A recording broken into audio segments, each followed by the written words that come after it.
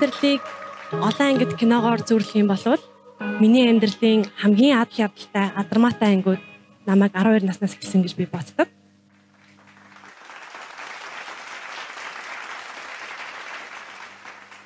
Намайг 12 настай хаад юу алсан бэ гэхээр манай аав ээж хоёр хөдөө гарч мал малхаар шийдсэн. Ингээд би аймгийн төвийн ханаасаа устай, халаалттай байранд амьдардаг айлын охин цас хайлуулж амны усаа хийдэг, аргал түлээ дүүлж, гал түлдэг малчин айлын хүүхэд болсон. Тэгээд бусад хөдөөний айлын хүүхдүүдийн лайдлаар хичээлийн шинжилээр гэрээсээ хол байдаг байлаа. Намар яг хичээл орхоос 1 2 өдрийн өмнө л одоо ирдэг. Тэгээ манай найзууд болохоор амралтаараа ирэхээрээ дугууланд явсан, дугуунд сурсан, туслан явсан гэж ярьдаг те. Тэр миний ярьдаг юм бол би хонь хариулсан, ямаа саасан, аруул цагаан эдээ хийсэн л гэдэг юм ярьдаг байсан. Тэгээд нилээн хичээл орох тулгаж төв орж ирдэг байсан болохоор яг л Batman Gotham хотыг авардаг шиг би яг өөрийнхөө нүрийг тэ сайртай сайрнаасаа шумуулынхаа сориноос хурдан хугацаанд аврах шаардлага тулгардаг байсан тухайн үед бол Солонгосын 10 алхам дайр сарчлаа гэж яг байгаагүй л дээ. Би тэгээд Монголын 10 алхам дайр сарчлаа хийдэг байсан. Тэгээд тэр 10 алхам нь бол яг аруула тараг байдаг. Тараг түрхээд угаагаал түрхээд угаагаал. Тэгээд царай ороод жоохон царай ороод хичээлдээ ордог байсан. 100 манайх намар хонио ялгаад эмгтэй дүү бит хоёр хотныхоо ургыг бүлдэж бариад хашаад авуулж гаргаж байгааг харсан. Манай голын хөвгүүдийн дунд нэг хошин яриа гарсан байсан. Тэр нь юу вэ гэхээр за байз батаахын охтуудтай л суухгүй юм шүү хэдүүлээ. Асуудал гарах юм бол хөмрөө шидчих юм байна.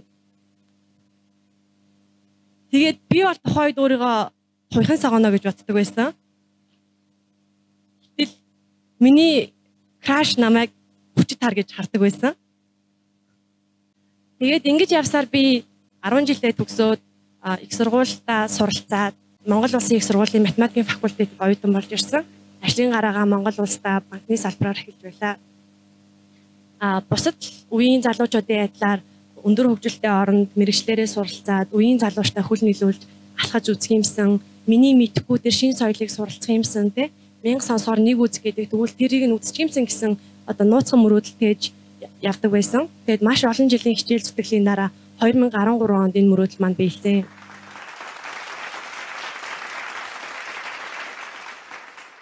2013 онд би Люксембург улсын засгийн газрын тэтгэлгээр банк санхүүгийн магистр хамгаалахаар Европыг зорьсон.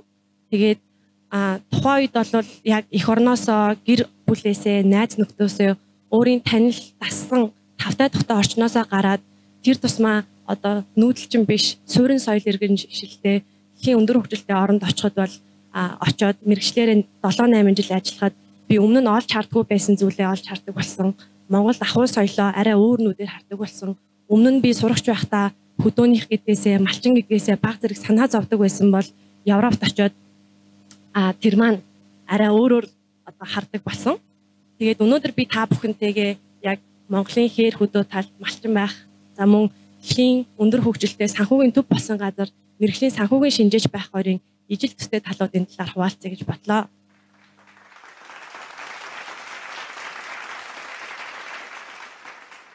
За малчин ах уу гэдэг бол энэ дотор мал малдаж үтсэн юм байна.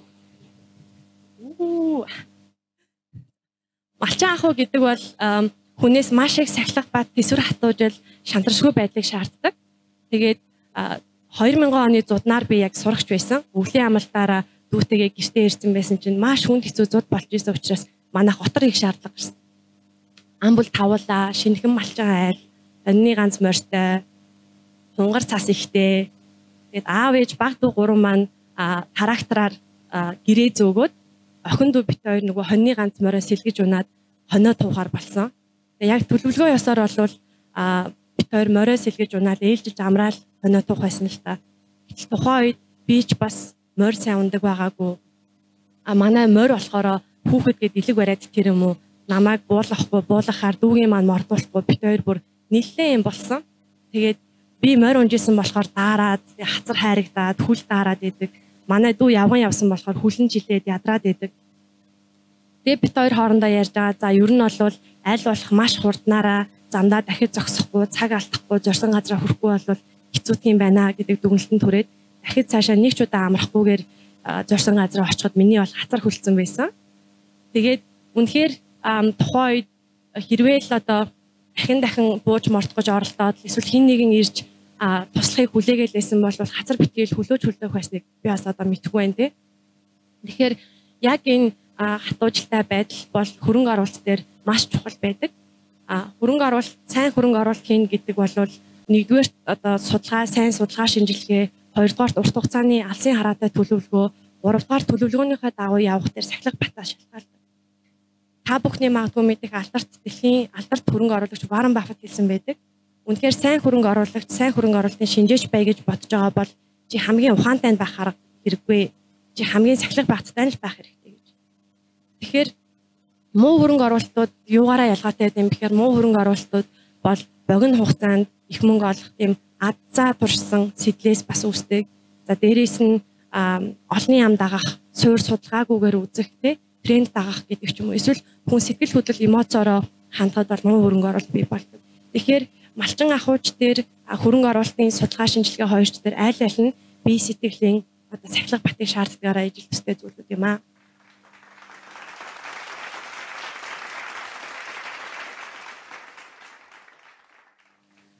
За малчин ахуй бас маш их тодорхойгүй байдал эрсдлийн дунд дасан зохицож урьдчилан төлөвлөж амьдрахыг шаарддаг. Тэгээд жишээлбэл одоо хотод 100 ингээ хүүтэн бороо ороход хүмүүс өө зунаар өвөл олчлоо гэж гэрээсээ гарахгүй ч юм уу те. Гэтэл малчин ахуй тонио хариулаад явж хахад нэг өдрийн дотор ингээд налгар сайхан өглөө байснаа өдөр нь салхи шуурч хавар болоод бороо орсноо шүнэн тэр нь цас болчих магадaltaй ийм өдрүүд бол цөөнгөө тохиолддог. Хэдийгээр радиогоор бид нар цаг агарын мэдээ сонсдог ч гэсэн тэр нь яг бүр наривчлалтай бас байдаггүй те. Тэгээд би жишээлбэл хоньныхоо ээлжин дээр хонио аваад бэлтээртэй гарлаа гэхэд бусад хончин хүүхдүүд хончин туршлагатай малчид тэ намайг хониороо шахахгүй юу эсвэл манай сүргээс нэг улаан ямаа салхи сөрөөд хоньыг маань тогтоохгүй идүүлэхгүй аваад нисгүү гэд энэ болгон бол маш их тодорхойгүй байдал байдаг гэсэн. Тэгэхээр тодорхойгүй байдал гэдэг бол эрсдэл эрсдэл тухайн тодорхойгүй байдал эрсдлийг боддоор үнэлж дүгнээд тохирсон арга хэмжээг нь аваад явах чухал гэдэг. Тэгээд охин дүү битээр хонд явахдаа бакал өмсөд аавын дээлийг шууд бүслээд хондоо явдаг байсан. Яагаад вэ гэхээр хэрвээ холоос ингээд бусад малчид дурамтахад яг аа өөрөө хондоо явж байгаа юм шиг харагддаг болохоор хониороо шахах ч юм уу тийм асуудал ертөөсөө гартгүй. За тэгээд аавын дээлтэй хахад бол цаг агарын ямар ч нөхцөл байдал үнэхээр алддаггүй. А дээрэс нь та бүхэн мэдэх бах имэйлтэй морь унахад хамгийн баталгаатай эрсдэлгүй гутал бол бакал гэдэг.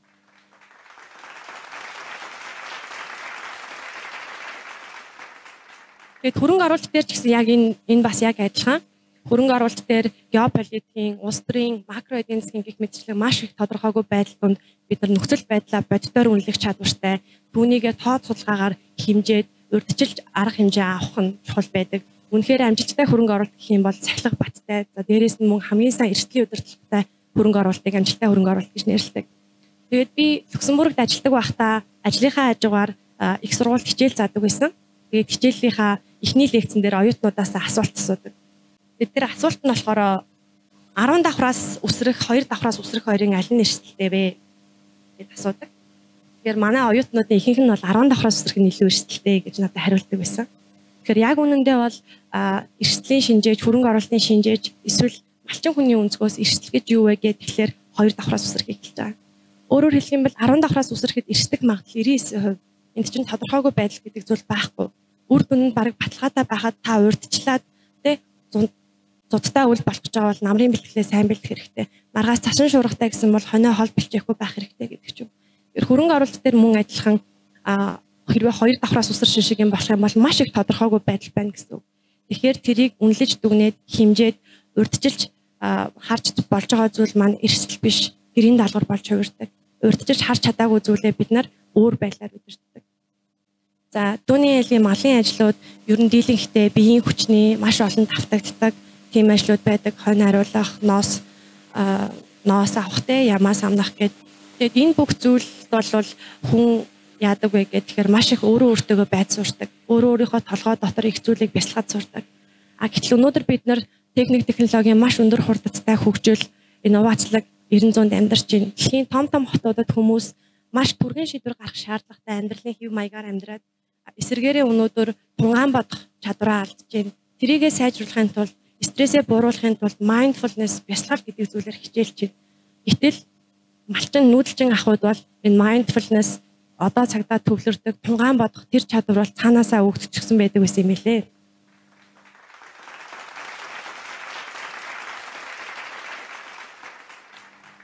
Тэгээд хөдөөний малчин айлын хүүхэд тэгээд дандаа улсын сургуулиар явсан гэхээр би бас өөрийгөө үеийнхэнтэйгээ харьцуулаад мэдхгүй чадахгүй юм зөндөө их байна да. Өөртөө баг зэрэг ихтгэлгүй байх гэдэг ч юм уу өөрийгөө голох тийм үед надад байсан. Гэхдээ яг тухайн цаг моментэд хүн юуг мэдхгүй, юуг чадахгүй байх гэхээсээ илүү тэр мэдхгүй чадахгүй зүйлээ сураад авах, мэдээд авах арга барилыг өөртөө суулгачих юм бол тэр үнэхээр тийм том асуудал биш гэдгийг ойлгосны дараа тайвширсан. Тэгээд 10 жил байхдаа би баг сургуулаа Завхан аймагт, ахлах сургуулаа Дархуул аймагт төгссөн. Тэгээд 10 жил байхад манай аймагт нэг хотоос лектор ирээл англи хэлхийг хэрхэн сурах вэ, хэрхэн сайжруулах вэ гэдэг сэдвтэ лекц сурсан би найзуудыгаа дагаад нь аваад тэр лекцэнд очиод суусан. Яг одоо бол яг бүх юмыг санахгүй байгаа ч гэсэн тухайн үед ойлгосон хамгийн гол чухал зүйл бол хинээс ч ичихгүй, өөрөөсөө ичихгүй англи хэлээ боломжит тэмдээгээр ингээд ярих гэдэг зөвлөгөөг хасан байсан. Тэгээд нэг удаа хичээл дараад найзыгаа гэртэн дөхөөлж очиод буцаа явж исэн чинь яг нэг тийм шаардлагатай цагаан царайтай Америк хүн явж байгаа юм шиг надад харагдсан. Тэгэл би дотроо яг юундээ бол орон нутагт гадаад хүмүүс Америк хүн битгий л те англи хэлээр ярьдаг монгол хүмүүс ч гэсэн айгу цөөхөн байдаг. Тэгээд би дотроо нөгөө лекцээ бодоод за би очиод юм ярих уу байх уу ярих уу байх уу гэж өөрийгөө зоригжуулаад тэгээд hello hello гэж өхөөд очсон л доо. Нөгөө хүн лөө. Тэгээ нөгөө хүн лөө өхөөд очсон чинь нөгөө хүн маань аа ингээд зог тусаад намайг хүлээх шиг болсон. Тэгэхээр би дотроо айгу баярлал за дөхөж очиод сайн угийнхаа араас юу хэлдэг вүлээ гэл үгээ бодоод явж исэн чинь нөгөө хүн зогсож зогсож ирсэн нөө цугтаага яваад өгсөн надаас. Тэгээ би ингээ одоо бодоход би ч гэсэн оронд нь байсан бол яг цугтах байсан баха. Яагаад тэгэхээр Монголын өвлийн хасах 20 градус одоо хин битгий хүн үү юу вэ гэдэг нь мэддэхгүй. Нэг явдаг хүнжил шиг юм. Нүрээ битүү ороолтоор ороодсон. Цаан хүрэг татцсан. Тэгээ холоос бол яг юу хэлсэн сонсогдоогүй бах те нэг юм ингээд өөрлөө нь өнхрөөд ахаар би бол бас цогтох байсан байх гэж бодож байна.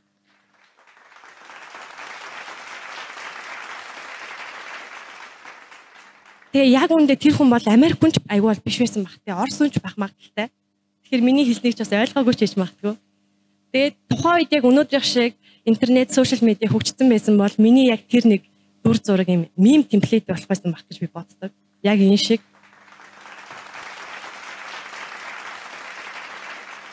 Тэгээд яг энэ нэг бүтлгүүтлээсээ хойш би хизээш надаас дахиж тийм зориг гараагүй. Би хизээч англи хэлээр ярахыг хичээгээгүй, оролдоогүй, бүр ингээд үнэхээр ичимхий хүн болж хувирсан. Тэгээд 10 жилээ төгсөөд Монгол Улсын их сургууль эдийн засгийн математик загварчлалын чиглэлээр сурахаар элсэж ороод дотор байранд амьдарсан. Дотор байранд амьдрахад би гадаад талын оюутнуудтай нэг байранд амьдарч таарсан. Тухайн үед би яг юу ойлгосон бэ гэхээр би англи хэлээр ярихаар хүмүүс ойлгохгүй хүмүүс англи хэлээр ярихаар би ойлгохгүй. Тэгээ би яг өөрийгөө хайр гаргийн хэл сурч байна гэж утсан. Гэтэ ингээд тест өгөө шалгалт өгөхөр би дандаа унц авдаг.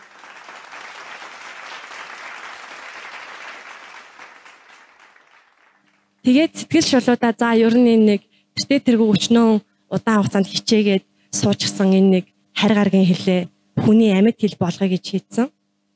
Тэгээд тухайн үед би бодож байгаад За ер нь хичээлийнхээ хажуугаар хүмүүнлэгийн ухааны их сургуулийн англи хэлний оройн бакалаврын ингээд элсэд суралцахаар шийдсэн. Яагаад тэгэхээр миний англи хэл сурсан байж айгуу тийм ирээвэр хураавар их сурвалжаас цэгцгүү сурсан англи хэл байсан учраас огт мэдэхгүй бол биш. Тэгэхээр хамгийн цэгцтэй болгож өгөх газар бол яг тэр академик сургалтын заадаг мэрэгсэн хүмүүнлэгийн ухааны их сургууль гэж батсан. Тэгээд сонин дээрээс зарыг харж агаад материалаа бүрдүүлээд өгсөн. Тэгсэн чинь тэнцээгүй Тэгээ тэнцээгүй байсан шалтгаан нь юу вэ гэхээр а бакалаврын зэрэг сурах гэж байгаа учраас заавал өмнө нь ингээд их сургууль төгссөн хүмүүс илсдэг юм аа. Тэгэхээр чи бол тэнцэхгүй гэж надад хэлсэн. Тэгээ яг тухайн үед надад бол тэр бакалаврын зэрэг нь байна уу, орчуулагчийн диплом нь байна уу үнэхээр сонирм биш байсан. Би зүгээр л яг хэлийг яг өөрийн болгоод болгомоор байсан. Тийм болохоор дахиад өргөжл бичээд багшаа би зүгээр төлбөрийн төлчөөд хичээлд нэрээ суучдээ яа. Би диплом авахгүй гэж хэлээд тухайн сургуульд илсэж орж исэн.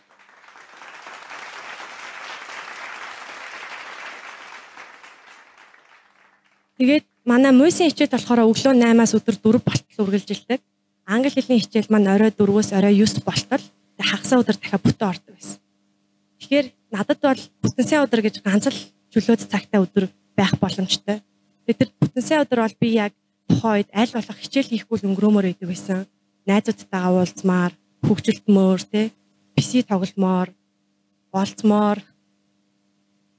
Тэгээд зуны амралтаараа болохоор манайх тухайн үед дүү өтөр хоёулаа оюутан байсан учраас би төлбөртөө нэмэрл болох гээд Архуул аймагт сургалтын төвд багшилдаг байсан. Тэгэхээр 100 бас хичээлээ давтах боломж маш бага гэсэн. Тэгээд би тухайн үед бодож байгаад за би яг хамгийн яаж би гэртээ хичээл давтахгүйгээр хамгийн амжилттай сурах вэ гэж бодсон. Тэгээд батсан чинь гаргалгаа нь бас тийм ч амар хэцүү байгаагүй. Тэгэхээр яг тухайн хичээл ингээд 90 минутанд ороод багш танхимд байхад би танхимд биеэрээ байгаа шигэ сэтгэл оюунаа бүгдийг бас яг тэр танхимдаа байлгах хэрэгтэй мэн гэж бодсон. Тэр багшийн амнаас гарч байгаа үг болгоныг анхааралтай сонсоод маш сайн төвлөрөөд ойлгохгүй байх юм бол яг тухай бүрт нь асуугаад явчих юм бол гэртээ хараад би тэрийг дахин давтаж үзэх шаардлага байхгүй штэ гэдгийг ухаарсан. Хүмүүс бас хэлэхдээ цагийн энэ цагтаа цагтаа хийгээгүй өмнөний төлөө хүн дараа нь хоёр дахин их золиос төлбөр төлдөг гэж. Тэр бол яг үнэн. Тэгээд би яг тэр арга барилаараа хоёр сургуулаа суралцаж төгссөн. Тэгээд дотор байрнаас мөс мөсөөс хүмүүнлэг хүмүүнлэгээс дотор байр гээд хоорондоо маш ойрхон яг юм адилтал гурвалжинтай одоо засмал зам байхгүй байсан бол баг жим гартал 2 жил шогссон. Тэгээд ингэсний эцэст хоёр сургуулаа хоёулангийн шилдэг оюутан болж төгссөн. Гэхдээ яг үүндээ тэр 2 жилийн хоёр сургууль давхар сурсан 2 жилийн туршид а хичээлээр ороогүй, лекцээр заагаагүй, багш дүн таваагүй өөр нэг чухал хичээл байсан. Тэр хичээл нь миний хувьд хамгийн чухал хичээл байсан гэж би боддог. Тэр нь юу вэ гэхээр сурах гэдэг үйл өөрөө байсан. Сурахад суралцсан, сурах арга барилаа олно гэдэг бол хүний амьдралд маш чухал. Өнөөдөр та юу мэдхгүй, юу чадахгүй байгаа нь нэг хэрэг. Гэхдээ тэрийг хүсгэл юм бол, шийтгэл юм бол өөртөө өөрийн болгож чаддаг тэр эрдэм бол сурах үйл гэж би нэрлэнэ. Монголчууд бид нар сайлаа бэлтгэр саваа бэлтгэж хэлдэг. Тэгээ яг энэ би Европын өндөр хөгжилтэй оронд очоод мэрэгчлэрээ суралцаад ажиллахад надад бол маш олон мэдгүй чадахгүй үзээгүй зүйл байсан. Тэгэхээр тэр мэдгүй чадахгүй үзээгүй гэдэг зүйлтэй нүүр тулахад ард нь гарахад яг Монголдоо эзэмсэн тэр сурах арга барил маань намайг аварсан гэж би яг үүндээ боддог дэлхий дээр байгаа бүх мэдлэг, чадвар, хэрэгтэй сайхан зүйлсийг бид нар сайлгаж үзэх юм бол таны савч нь яг тэр сурах арга барил юм шүү гэж би хэлмээрээ.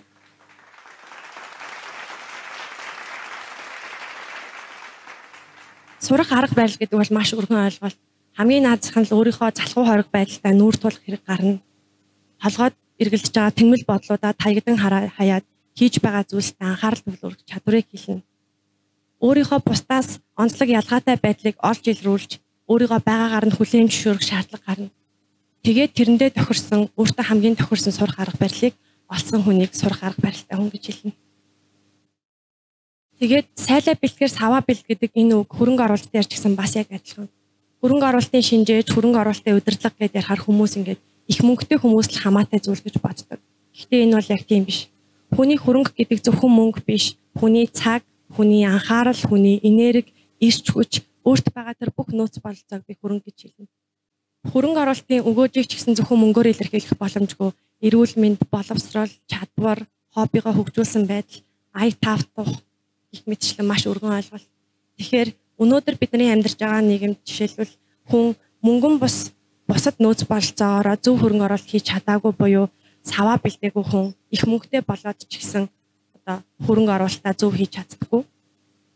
Тийм учраас сайлаа бэлгээр саваа бэлт гэдэг үг бол хөрөнгө оруулалт дээр ч гэсэн бас адилхан яг чухал байдаг.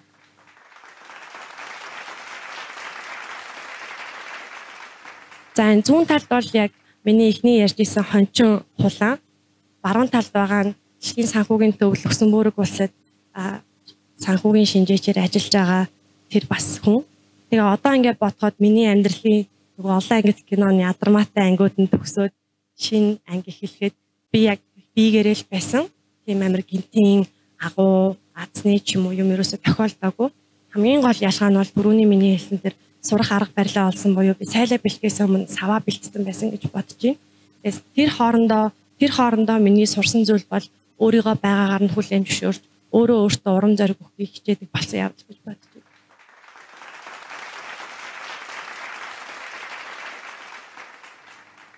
Миний бодлоор хүмүүс урам урам зоригийг маш холоос ирэл хайгуул хийдэг. Дэлхийн од, инфлюенсер, амжилттай яваа хүмүүс гэдэг ч юм уу.